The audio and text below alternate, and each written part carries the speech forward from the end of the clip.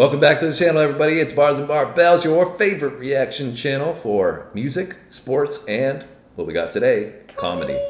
And we're doing Futurama because this is one of Sam's favorites. She, you really liked Futurama growing up, right? Yeah, I watched like a fair amount of it. Yeah, and uh, was this like a religious thing? Like I, I think it came out like every Sunday, right? So did you? I never watched it like all the time. Like I wasn't somebody like sat down at the same time and date every week. Or but a binge watcher. yeah, or like when it was on TV and you know you're fl- you're sitting there on the couch like flipping through and it would be on. I'd be like, yeah, okay, this is what I watch. So do you have a favorite character from the show? Because I'm not really too familiar with it. Uh, probably Bender, the robot. And that's the robot, right? Yeah. Okay. I mean, I like Layla too, the girl, but um, the Cyclops. But I like Bender the best. Yeah, so I never my personal experience with Futurama is I really never got into it. I watched a few episodes here and there, but I think it came out a little bit later after like The Simpsons Yes, came out, and even maybe after Family Guy. I think it might have come out. I'm not sure actually. I think that those two are within the same era. Okay, well, I definitely after The Simpsons, so I think maybe because I'm a little bit older than you are, so um, you know maybe it was around the timeline where you were still interested in that kind of stuff, and I was watching or doing other things at that point, and maybe Yeah. that's why I just never got into it, but.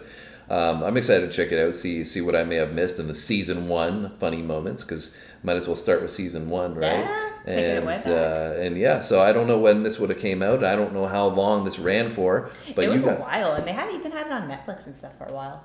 well, you guys can let us know in those comments anything about Futurama that we should know. Like I said, how long it's run for, uh, if it's still running, which I don't think is the case, and uh, what year it came out in. Answer those questions in the comments. Let us know. All right, you ready to check out? I'm ready. Check out. Check it out. You, you I'm ready. Are you ready? Let's get it on.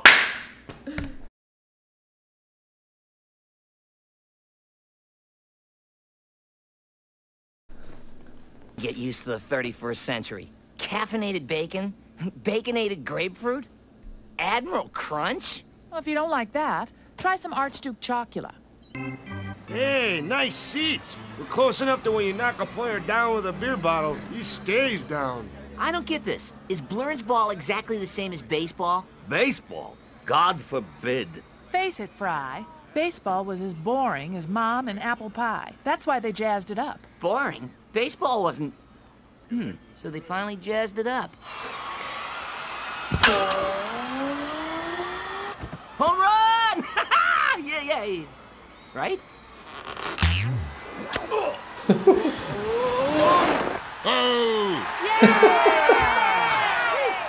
What just happened? Why is the ball on that springy thing? It's traditional, just like aluminum bats and the seventh inning grope. Hey, hey, hey, I got me a souvenir. Ah, here you go, kid.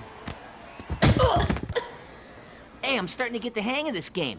The, the blurns are loaded, the count's three blurns and two anti-blurns, and the infield blurn rule is in effect, right? Except for the word blurn, that was complete gibberish. Multi-ball! Oh.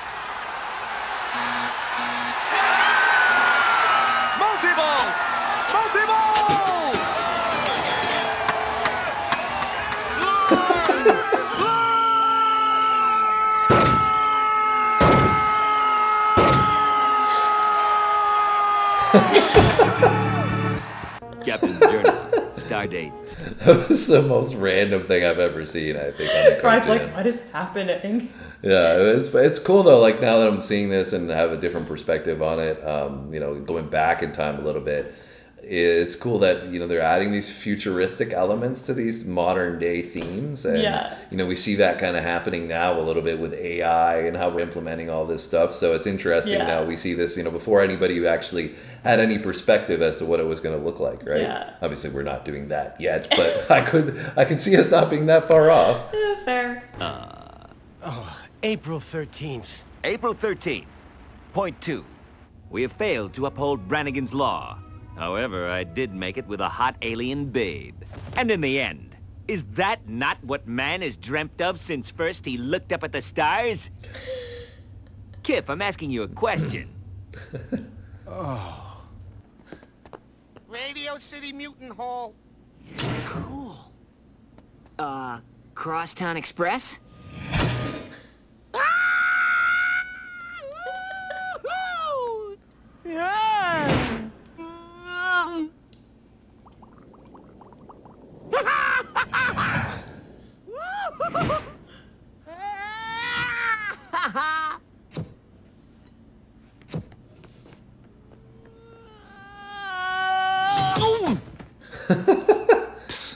Tourist.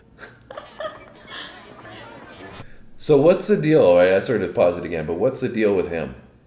Like he's traveled through time or something like that. Yeah, so he's like, if I remember correctly, it's been a long time since I watched this. He fixing my hair. Yeah.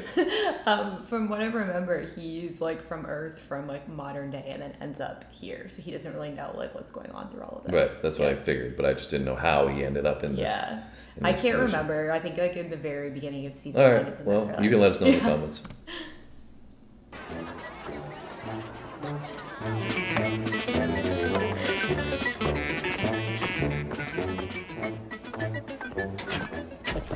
Hi, I'm Craterface. Welcome to Luna Park. I'll have to confiscate your alcohol, sir. Better mascots than you have tried.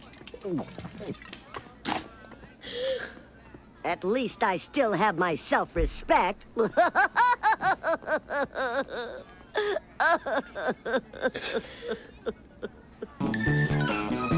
Wow, now this is fantastic. Hmm, I'm not sure we want to pay for a dimension we're not going to use.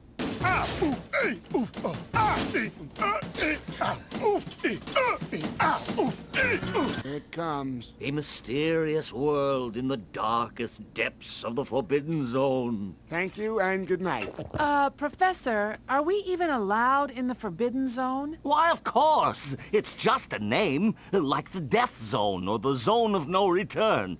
All the zones have names like that in the Galaxy of Terror. Uh, Professor... Off you go. Pleasant trip. Ah, I can't take it anymore. They've been at it for hours. Give it a rest, you two. Sorry! this is Hermes. A package just came in. Everyone needs to return to the office immediately. Get away, you filthy bird! Shoo! Shoo! Professor, turn me off, quick! I'm sorry, what? Ah! See you at the office! Yeah, well, I'm gonna go build my own theme park with blackjack and hookers. In fact, forget the park. The story of lunar exploration started with one man. A man with a dream. One of these days, Alice, bang, zoom, straight to the moon. Wow, I never realized the first astronauts were so fat. That's not an astronaut, it's a TV comedian. And he was just using space travel as a metaphor for beating his wife.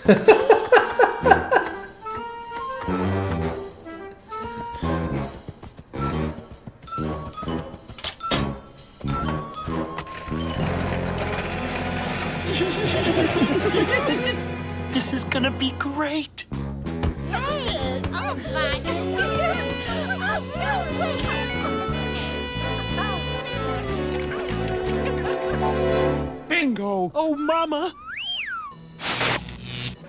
Oh, yeah. Someone's been a bad computer. Get a load of that!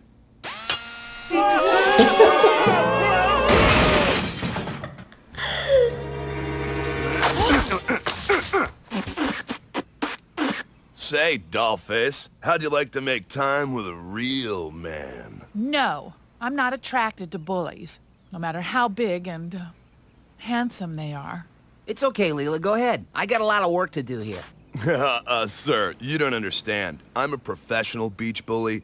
I pretend to steal your girl, you punch me, I go down, she swoons, you slip me 50 bucks. 50 bucks? Not even if she was my girlfriend. You take her. Fry? Although I suppose we could go for a walk on the beach. Uh, no thanks, ma'am. I'm actually gay. Come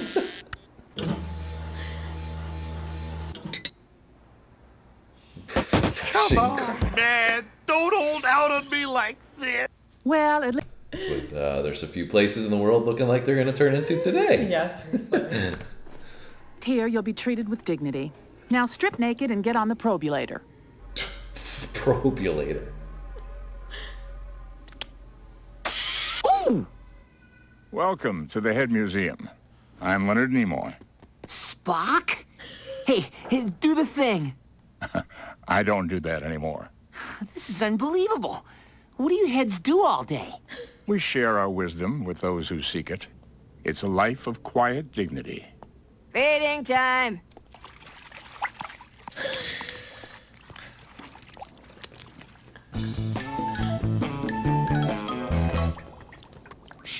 It ain't one of them la-di-da above ground places, but if you like dank, forget about it.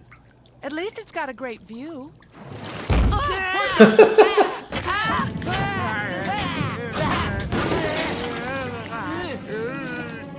Excuse me. I gotta go change a light bulb.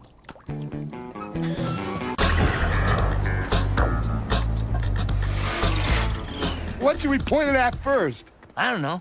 Try it on me. Ow! My sperm! Wow, neat. Mind if I try that again? Huh. Didn't hurt that time. Oh, mama. Hold still, sexy lady. What's wrong? That's no lady. Damn, chica. One more upgrade and I'll be more lady than you can handle. Why you so stupid, stupid? Hey, bite my shiny metal ass. You couldn't afford it, honey.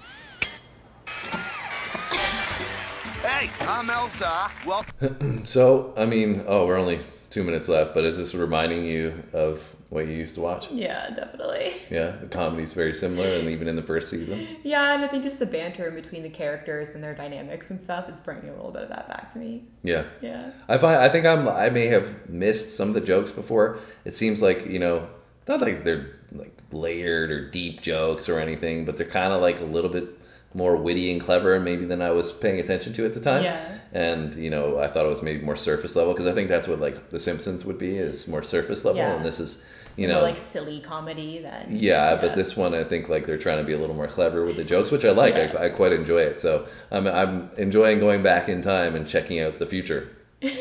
You know.